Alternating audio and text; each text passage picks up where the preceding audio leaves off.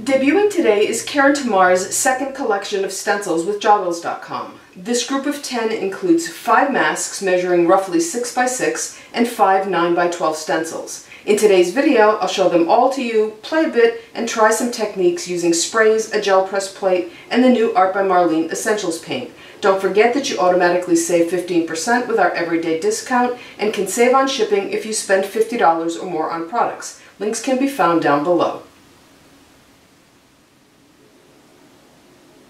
So I'm working with a couple of different surfaces today. The first one you're going to see is this is Dyan's Classic Journal, and this was named Classic because it includes all three types of paper. There's the mixed media, which you just saw, then there's the craft, and there's black, and black is what I chose to work on here today. So here are the five masks, and I'm just going to kind of name them, and then I'm going to pick them up so you can see what this spread looks like. So this is Snowflower Mask, and then there's Snow Helix Mask, this is the pointed starburst mask.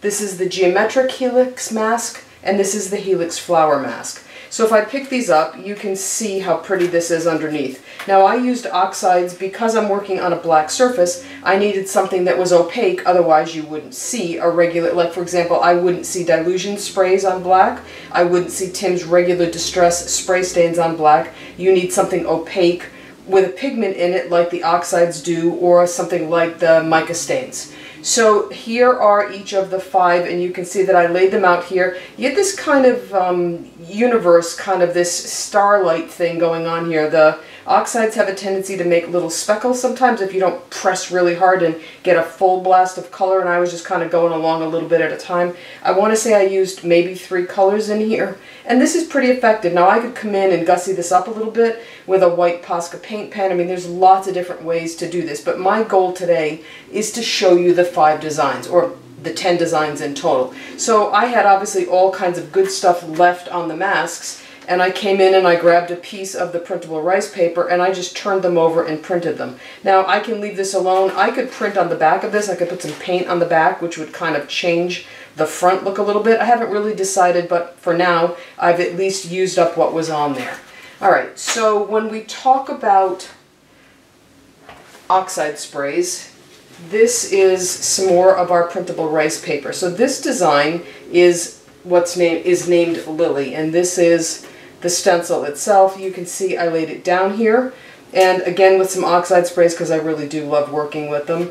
I sprayed this. Now you can see some blotches here. That was the, the mister doing its thing because again, if you press hard, you get this kind of more controlled release.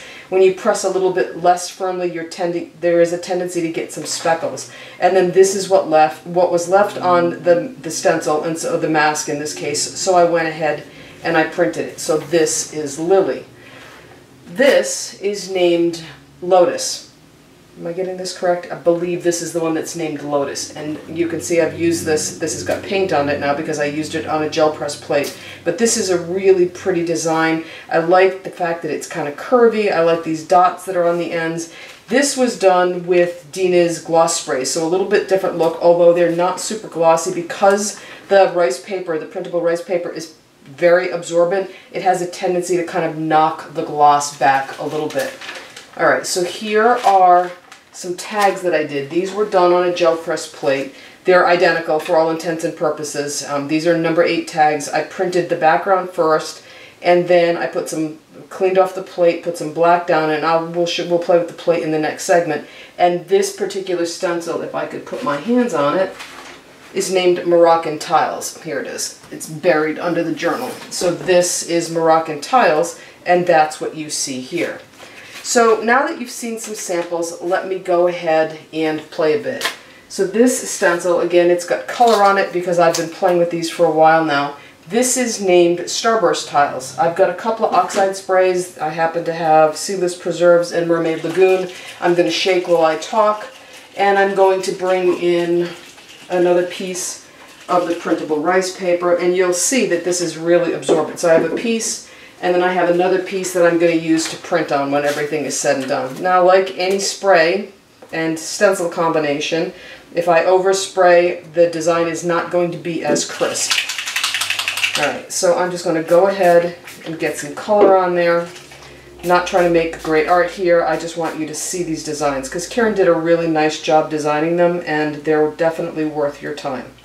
Alright, so this is Starburst tiles and that's the positive of the design. So if I grab a piece of paper towel, and I thought I had one handy here, but I guess I'm not as well prepared as I thought, and I go ahead and I wipe this up, and I'm not going to do a very good job, I just want to get the wet off.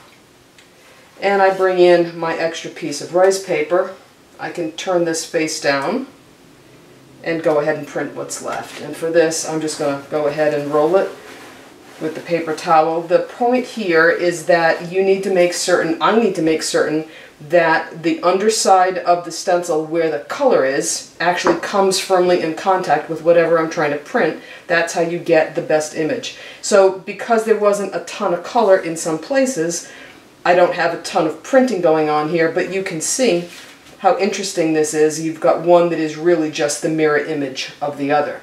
So up next, I'm going to grab a gel press plate, a couple colors of Marlene's new paint, which are here someplace. I'm going to use these three. And then we're going to take a stencil named Uneven Geometry and give them all a spin together. I'm working with an 8 inch by 10 inch gel press plate and this is one of the medium brayers in the line that Dina Wakley and Dyan Reaveley have with Ranger. It's their gel printing line and you can tell that this is one of theirs because the roller on it is pink and of course everybody loves it because it's pink and I would be included in that. This is the stencil that is named Uneven Geometry. So I'm going to start with two colors in the new line of Marlene's paint. I have Kermit and Mermaid, and I'm going to create a vertical ombre. So I'm just, doesn't really matter how I put these on there. I'm working with number 8 tags, which are almost as wide as the plate, so I need to make certain that I have enough paint on there to kind of do the job. And I'll start by brayering one of the colors out, and then I'll come back and brayer the other once I clean the brayer off, and then I'll create that ombre in the center.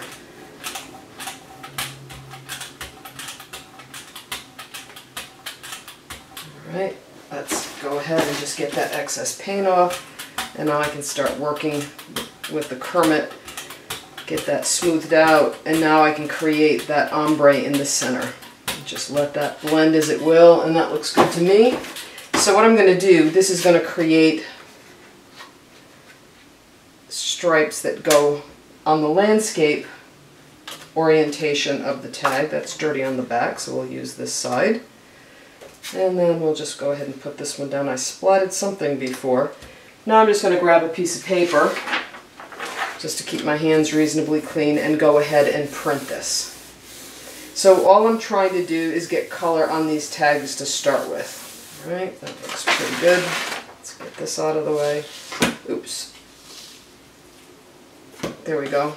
And there's my ombre. You can see I picked up a little bit of stuff that was on the plate. That's always the bonus. Again, here's my ombre. And I was wrong. The stripe is actually running on the portrait side. So I like this. I think this is pretty cool. I'm just going to quickly grab a baby wipe and just clean this up. I don't always do this, but sort of for clarity in what we're doing here today, I will. Just get the worst of the color off.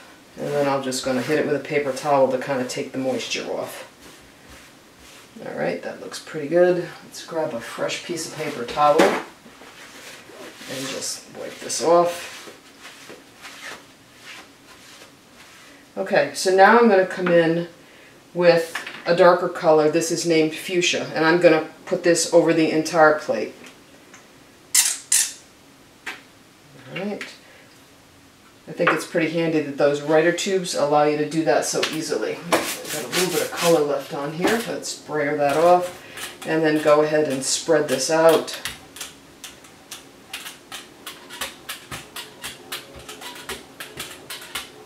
It really doesn't matter too much all the way over one side or the other because the tags aren't quite that wide, but I'm just kind of spreading the paint that's there out.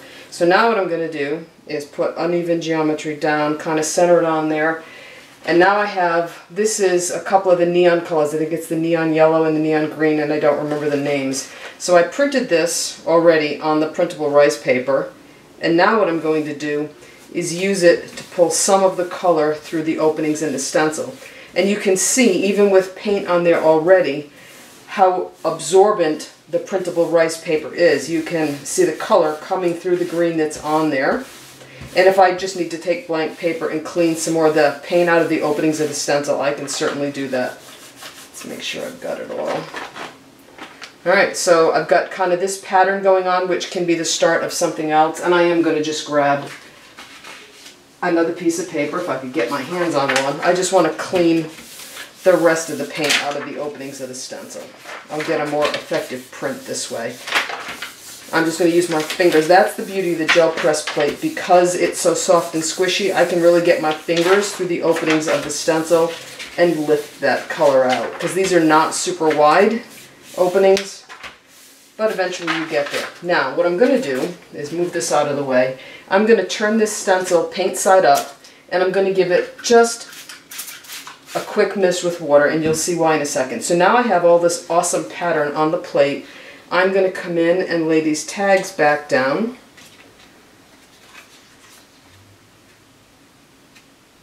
This is nice if you're working in a series, let's say you're working on some kind of a group project, this is a good way to get multiples of kind of a similar kind of thing, which is what allows you to really effectively work in a series. So I'll just go ahead and print this. And how cool is that? I mean, green and purple and turquoise I think makes such a wonderful color combination anyway. Get these great looks. Whether I use these as a tag, I could incorporate them with a journal into a journal page. I could use them with a card if I were so inclined to make cards, which I'm often not, but I'm thinking about it. Alright, so let's get the plate out of the way, and then let's bring this back in. Now what I have is some kind of wet paint, so I'm going to take another piece of the printable rice paper. Now the 8 by 10 plate is smaller, obviously, than an A4 piece of rice paper, but I can at least print what remains on here. And again, you see that color coming through and I get this. So now, with that one application of paint, I have three tags and a piece of rice paper that I can work on. And of course, technically, I have this one going on too. So, you know, you get a whole lot going on here with these kind of techniques where you can pick and choose what you do. So these are Keren's 10 new stencils and masks. Six, or five, six of them are, I'm sorry, five of them are about six by six and then the others are all 9 by 12. They're available exclusively at joggles.com.